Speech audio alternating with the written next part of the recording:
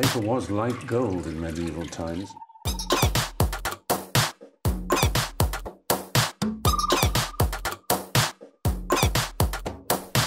Oh, not tobacco, sugar. That everything we thought we knew about the world might turn out to be completely wrong.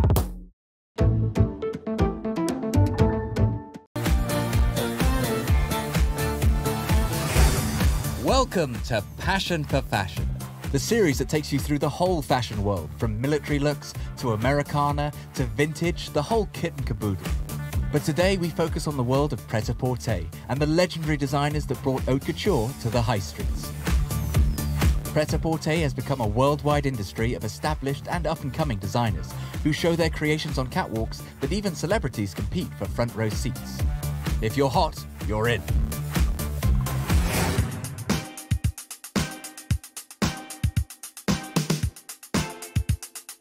Pret-a-porter is the French for ready to wear, and here's our catwalk show.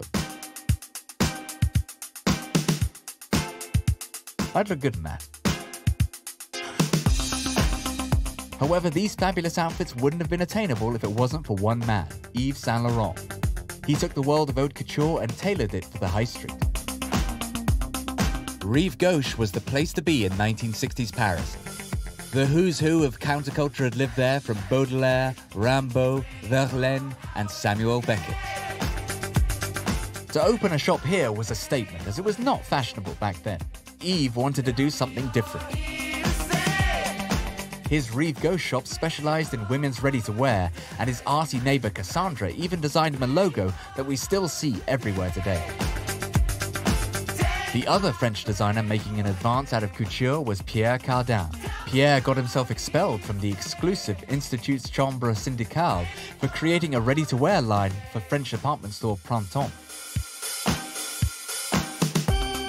However, his bubble dresses were taking the world by storm, and he set up his own women's boutique, Eve, shortly followed by the boutique Adam for, you guessed it, men.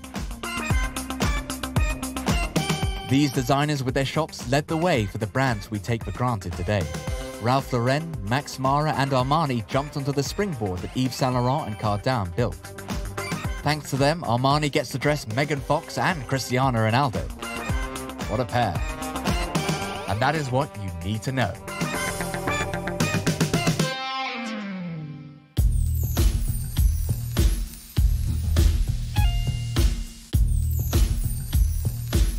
Yves Saint Laurent was a master of couture and pret-a-porter. His smoking jackets and wide-cut trousers for women defined the 60s, and his brand continues to woo the biggest names in cinema and music. When he worked for Dior, his beautiful drawings and designs led him to become chief designer of the label. At only 21, he was the world's youngest with such a title. Chanel freed women and I empowered them, he once said, and he was not wrong. When he opened his own fashion house, his designs were a groundbreaking mix of feminine and masculine, confident yet elegant. His Le Smoking jacket became his trademark, perhaps inspired by Marlene Dietrich. A tuxedo pantsuit for women became the most sought after of his designs, and went down in rock history when Bianca Jagger married Rolling Stone frontman Mick Jagger wearing one. Saint Laurent wowed the fashion world with his Mondrian dresses, which had been inspired by the painter. He was the first designer to put black models on the catwalk, helping kickstart the careers of Sonia Cole and Iman. And after Vogue rejected Naomi Campbell, Saint Laurent, who recognized her beauty, stepped in and landed her the cover of French Vogue. However, no woman epitomizes the brand more than the French film star Catherine Deneuve. She was Saint Laurent's muse. The two met when he designed the clothes for Belle de Jour in 1966, and then began an enduring friendship that would see Saint Laurent design the costumes for her in La Chamade, Mississippi Mermaid, and The Hunger, a film in which he starred alongside fellow Saint Laurent fan David Bowie. He wore Saint Laurent suits for his Diamond Dogs tour.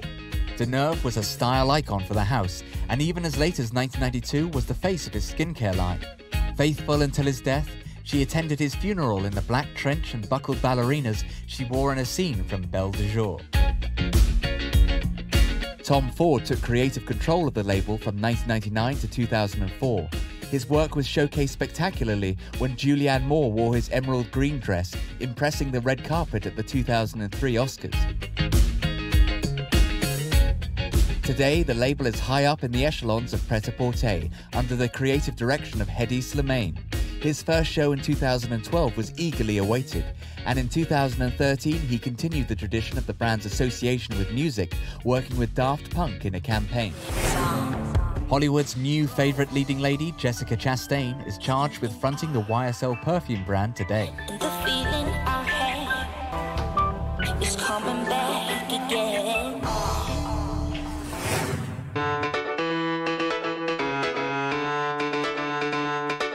Music and fashion have gone hand in hand over the years.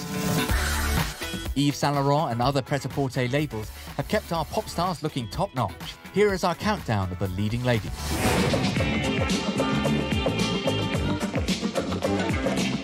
Pull up to the bumper, here comes one of fashion's trailblazers. Who else can call themselves a model, singer, an actress, and sometimes the stuff of nightmares? Known for her wild side, she used to party into the late hours in the Parisian club The Palace with Yves Saint Laurent, Karl Lagerfeld, and Giorgio Armani. Her mate Armani gave her one of his jackets for the iconic cover of her album, Nightclubbing. Grace's play with gender has a lot in common with the smoking jacket of Yves Saint Laurent, which is not surprising as she was one of Yves' catwalk models in the 1970s. Her one-man show tour in 1982 arrived at a time when Yves created a show featuring baggy trousers, eye-obscuring wigs, and strong shoulder jackets, accentuating her strong look. Very few pop stars can claim that. Stay with us for more of our countdown after we take a look at a little craziness with What the Fashion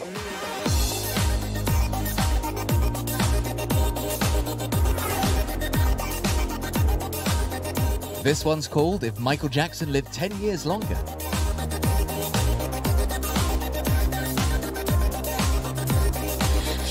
Ladies, it's a little black dress you just couldn't find.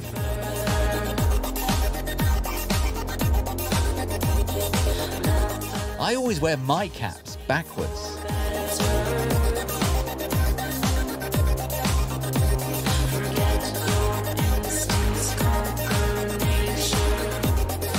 Something to pop out to the shops in.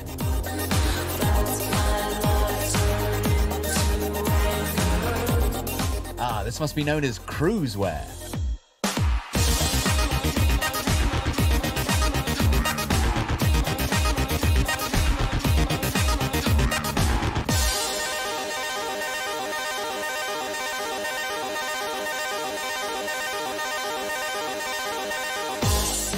Last, you can look stylish in the shower.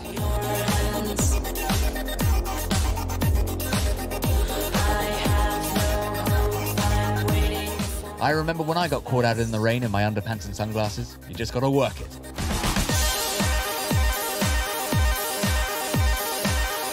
Back to our countdown.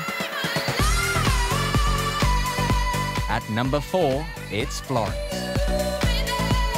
Ever since she burst onto the scene, Florence Welch has been the songstress every designer wants to dress. It's been such a blur.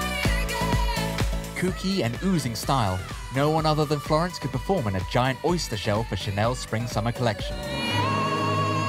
Very few pop stars get an entire tour designed by a major label, but Gucci stepped in to design bespoke dresses for her ceremonials tour.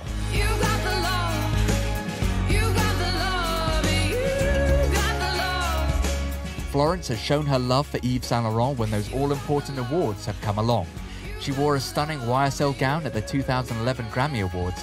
She chose YSL Fall 2010 for the Q Awards with a look taken straight from the catwalk. Oh, Lord, what's the use? But most spectacularly, her angelic YSL dress at the recent Met Gala set tongues wagging. Who's got the love? You've got the love, Florence. You've got the love I need to see me through.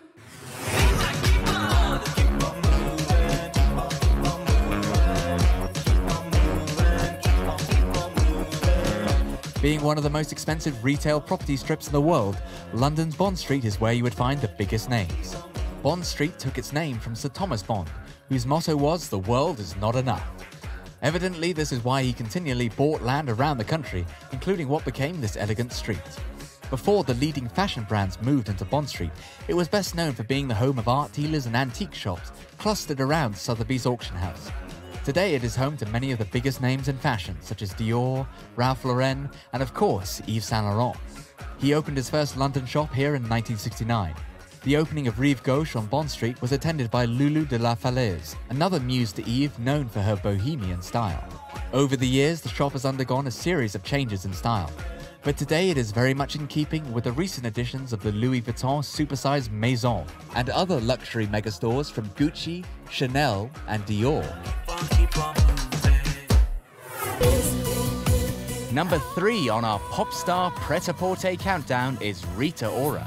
In a short space of time, Rita Ora has not only established herself as one of Britain's biggest names in music, but also fashion.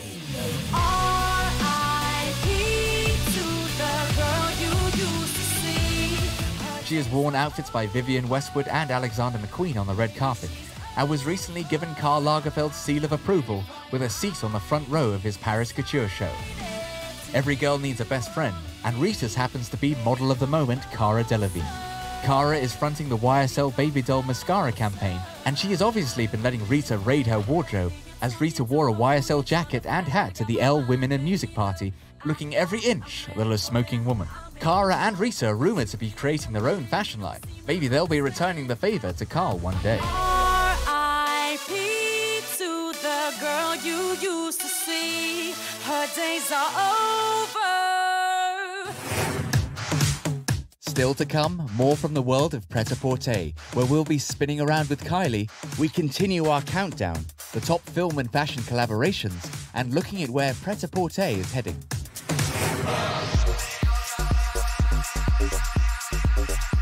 The world's top designers have collaborated with some of the biggest directors in cinema, resulting in unforgettable moments. Yves Saint Laurent was one of the first to make this step. Not long after setting up his couture house, Saint Laurent dressed Claudia Cardinale in the 1963 film The Pink Panther. Although chased by Hollywood, he chose to stay in France and dressed Deneuve in Belle du Jour. The camera has now turned on Yves himself in not one, but two biopics about his life. One called Saint Laurent, and rather confusingly, another called Yves Saint Laurent. The battle has started as to who owns his name. Now to the glamour of the 20s.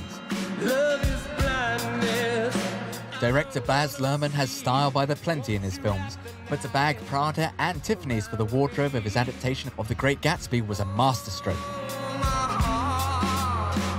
Miuccia Prada and Luhrmann's Oscar-winning production designer wife, Catherine Martin, raided the archives, modifying classic Prada designs to suit the kind of roaring 20s depicted in the film. I'm certainly glad to see you again. I'm Certainly glad to see you as well. All of her jewelry was designed by Tiffany's. None more desired than the $3.9 million engagement ring she wears.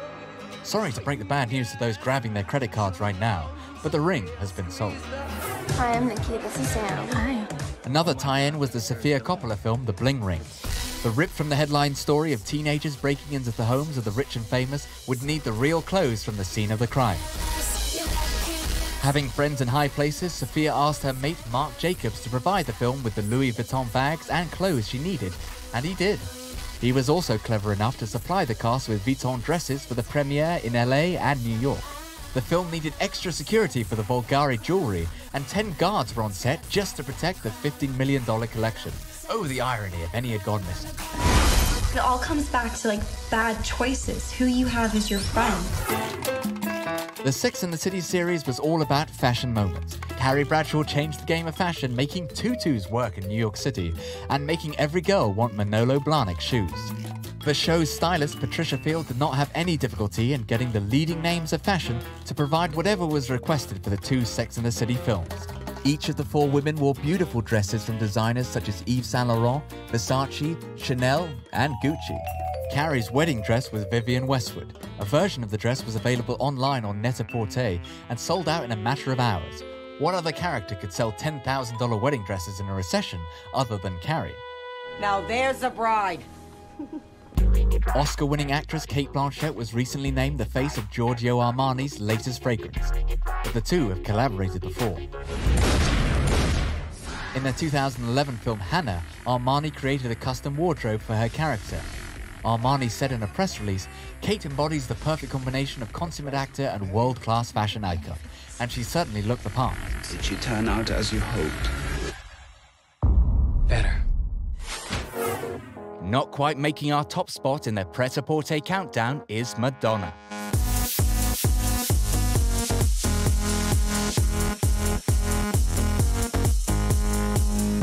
She needs no real introduction, but I'm going to give you one anyway.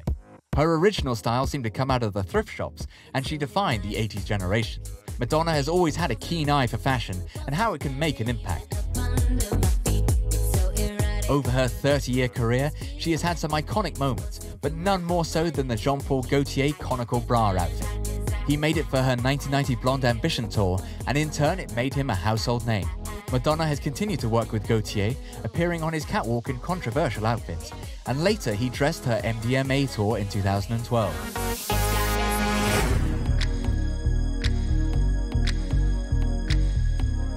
Madonna wears her influences and inspirations with flair. Her love of Marlene Dietrich is one that she expresses reverentially. Marlene was known for challenging ideas of what a woman should wear. She wore men's suits and top hats so well, in fact better than men, that others followed. Yves Saint Laurent took Marlene's look further with his Le Smoking jacket, tailoring the traditionally male suit to fit a woman. Madonna has worn this look from early on in her career, most memorably in the videos for Vogue and Express Yourself. She also dressed in a tux and top hat for the premiere of her MDNA film. So who beat Madonna? Stay with us to see who's number one. So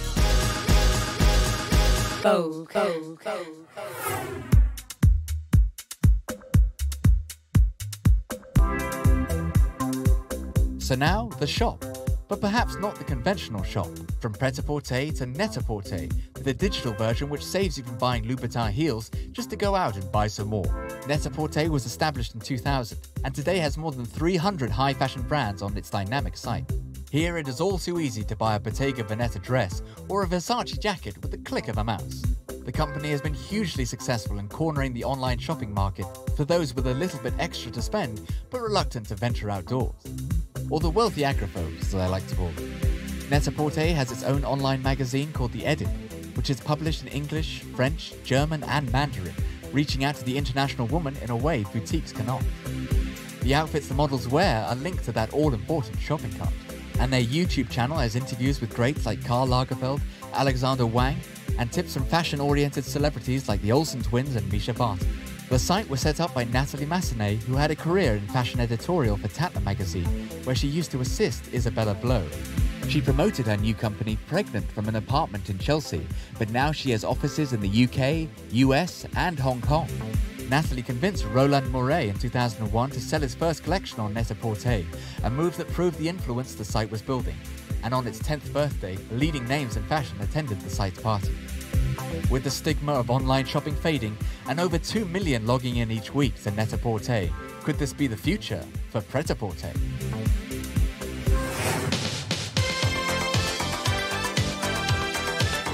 She would be so lucky.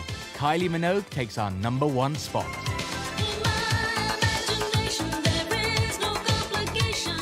Career of over 25 years in the charts can only mean a wardrobe to fit 25 years of the finest that fashion has to offer. Kylie has worn it all. Givenchy, Chanel, Dolce & Gabbana to name but a few. So much so, she wrote a whole book about it.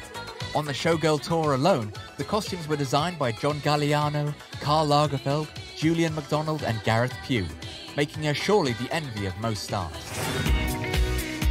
Having been the absinthe fairy in Baz Luhrmann's exuberant Moulin Rouge, it only seemed fitting that Paris would dress Kylie.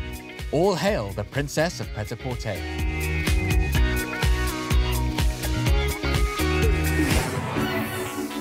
Let's take a closer look at our number one and see why every designer wants to dress her.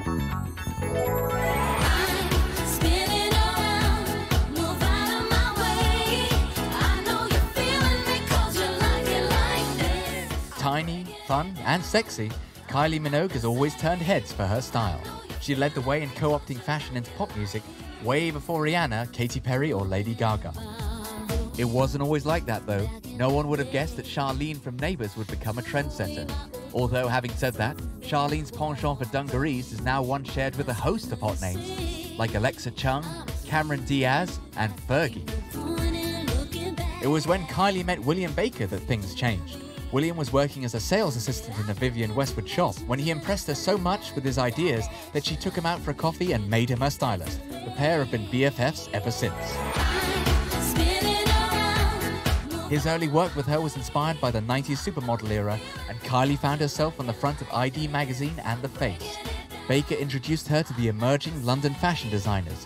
She visited the studios, and this evolved into designers such as Richard Nicoll, Gareth Pugh, and David Koma, contributing to her shows.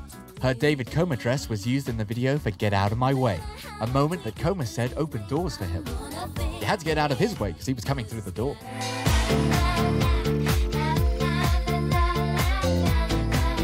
Underground label Mrs. Jones provided Kylie with the flimsy white jumpsuit for the Can't Get You Out of My Head video, making red blooded males everywhere wish they had something as loose fitting to wear.